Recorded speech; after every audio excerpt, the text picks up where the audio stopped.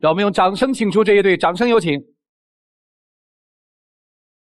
男嘉宾小俊，二十四岁，来自河南待业；女嘉宾小陈，二十二岁，来自河南，学生。来，有请，有请两位，有请。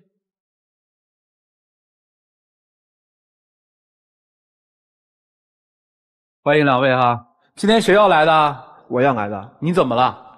啊，我感觉我们两个之间的感情出现了一些问题。哦，感情出了问题哈！你们俩谈恋爱谈了多久啊？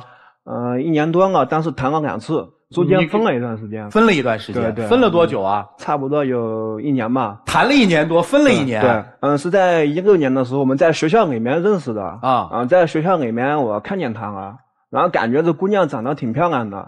然后我就上去要了他的微信，然后就这样我们聊天，偶尔呢也约出来吃饭，感觉还挺合适的。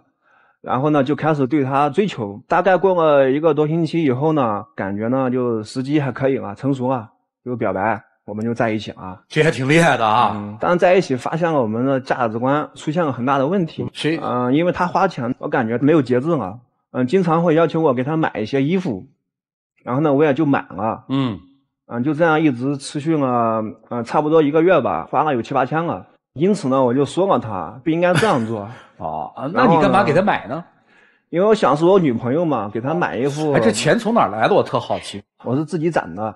哦，就是往年的压岁钱什么的？啊，也算是。然后呢？就是因此跟他吵过好多次，他也没有给我一个合理的解释，然后就我挺失望的。然后就逛街的时候，他看上了一双鞋子，然后我当时的确没钱了，然后我就说不买了，那不同意。发脾气，然后我就说以前啊给你买那么多东西我都买了，还在乎这一双鞋子吗？啊，只是真的没钱了，但就是不听，就因为这分手啊。那大概是多久前的事儿？一六年的是九月份时候。这隔了这么久，怎么这这后来怎么又好的呢？后来分手之后呢，他呢也是把我以前给他买的东西都折现，然后还给我了。哎，人家姑娘不错哎。然后后来一想，感觉。他除了花钱也没啥，我就想有点后悔了吧，然后呢就继续的保持联系，然后呢？平时呢也都是聊天，都嘘寒问暖什么的，就是等于没和好。啊，没和好，没和好，但是保持联系啊，对，就这样呢持续了一年嘛，嗯，然后到一直到一七年十月份的时候啊，又正式了又提出了交往的要求，谁提的？我提的，然后他呢也就同意了，不是挺好吗？但是就发现了其他的问题。这 什么问题啊？你像他在学校平时会有一些快递啊，让我帮他取，然后呢，我呢也就肯定理所当然的帮他取快递。嗯，他呢在东门，然后我到西门去取快递，回来的时候呢给我打了一个电话，说又有一个快递，你再帮我取一下。然后我当时解释了，说不方便，我手里拿着两个快递不方便啊，咱等几天再取吧。他就发脾气，不愿意了。我这真的是感觉到他不理解我。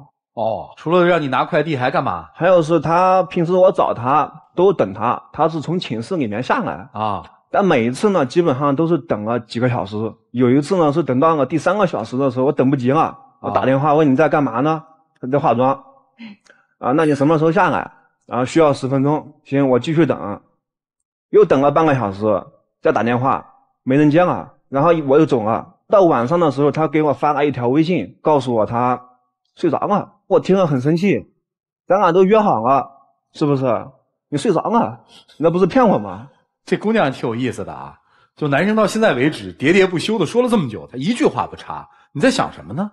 我觉得他说的那些话都是无中生有，我觉得他一点都不理解我。哦，我呢是学临床医学的，每天的课都很多。我觉得我现在的所有的心思只能用在学业上，我爸妈对我的期望也特别高。哦，我没有。太多的精力在这这份感情中，所以我觉得他太黏我了。我那是叫黏你吗？咱俩正在交往。而且包括咱俩刚开始你追我的时候，你给我买一些东西，我只是想试探一下你舍不舍得为我花钱。而且在第一段感情结束之前，我都把所有东西大部分折现给他了。哦，这这他也说了嘛，是因为他这样才觉得你好，才第二次追你嘛。你是同意跟他交往吧？同意了。哎，同意交往，你好好跟人交往，怎么没有精力又说但是他总是怀疑我，我每次去上课不能看手机，然后晚上的话看到好多个来电，我给他回了，但是他总觉得我跟哪个男孩出去玩了。哎，这你怎么没说呀？好几次都怀疑我跟男孩出去玩因为这些东西我懒得说他了，毕竟是和他是在谈恋爱，啊、然后我给他发微信或者发短信，我感觉很正常的应该是你回我，但他却没有回我。你是学什么的呀？我是学工商管理的。啊，你那课相对轻松一些。啊、对。那你知道咱们学临床医学的？我知道，但是我感觉你大学嘛，你再忙，那什么都是你感觉的。医学院每天的管教都特别严的，对于医学生的要求也是非常严格的。但是你再忙，起码你要有时间去回答我一些东西，但你不能让我感觉到好像没有你。那你还记得吗？你在你公务员考试之前，他说他特别紧张，让我当天晚上给他写五百字儿。写五百字啥呀？五百字鼓励他的话。因为我是想我们之间的感情那么淡啊。啊！我想增加一点乐趣啊！不要感觉写了吗？那天晚上我写完实验报告，就是我自己的作业以后十点半了，啊、然后他说他要让我给他写五百字儿，我知道十点半他还没有睡啊，然后我就把五百字写了，十一点半才写五百字的鼓励的话，你是写了些什么？我可都说不出来。我说的是公务员考试，你一定要努力去考，那是你爸妈对于你的一个期望啊。而且公务员考试一年就一次，因为我希望他可以有一个稳定的工作啊。因为他现在毕业半年多了也没有工作。那不是因为陪你吗？我不需要人别人陪我，你就是每天太闲了，总是腾出很多时间来盯着我。那你心不在我这边，他心在谁那边？我不知道。他和前男友有联系，你怎么发现的？我看微信发现的，我看见聊天记录啊。那只是我前一段时间遇到麻烦事情了，因为前男友他事业挺成功的，而且他是一个走入社会的一个人啊，想让他给我一些帮助。然后应该他帮你吗？他跟你对啊，我是你男朋友，你找我，所以你吃醋了？那肯定吃醋啊！和前男友有联系不找我，有事给他说，不和我说。我肯定吃醋嘛。后来我是不是跟你说了？然后你就一直说，那你坚持坚持就行了。那你跟你父母说，我觉得这个事情我没办法跟我父母说，因为不太好讲，比较棘手。我就但你可以告诉我嘛，咱俩毕竟在谈，对不对？你又解决不了。姑娘，你在心里能看上那小伙子吗？你说实话吧。没没太能看上。那你没太能看上，你跟人谈什么呀？你折腾人家。但是经过一年他对我的追求嘛，哦、我觉得他挺专一的。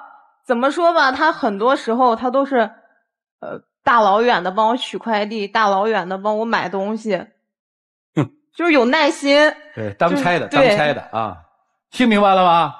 你还记得吗？在学校里，我知道你在上学，你没钱，我感觉你生活挺辛苦的，我把自己的钱给你，我让你生活的好一点，然后我是不是没钱吃饭啊？我就让你请我吃几顿饱饭而已，你不请。这要求不过分吗？再说，那你一个大老爷们儿，你温饱自己不能解决吗？那钱不是给你了吗？我哪有钱呢？你回家吃不行吗？哎呀，这这不像谈恋爱。你你怎么了你？你怎么不找工作呀，孩子？因为我在读书嘛，考公务员。考了吗？嗯，考了。啊，现在还没有下来成绩。你觉得怎么样？我觉得一般吧。那你最近在忙什么？因为刚考也没事了，现在。啊，嗯，反正现在心思就是在他那儿是吧？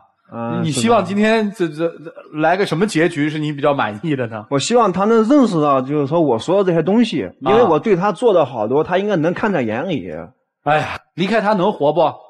也能，能很好的活不？能啊，嗯能上进的活不？虽然能是能，但是心里面还是会。好吧，来，一起进入丘比特问卷。你有一个很大问题，刚才姑娘其实说出来、点出来了，你不自信，你把你那种不自信所带来那种不安全感，最后怼回这个姑娘身上，都是你不好，你对自己不自信，那你应该怪自己嘛？我怎么就没有这个能力呢？我怎么就找不着工作呢？我怎么就不能帮你解决问题呢？怪自己啊！那你怪他，你你为什么找前男友？你为什么要花那么多钱？啊，你为什么要怎么样怎么样？不从自己身上找原因。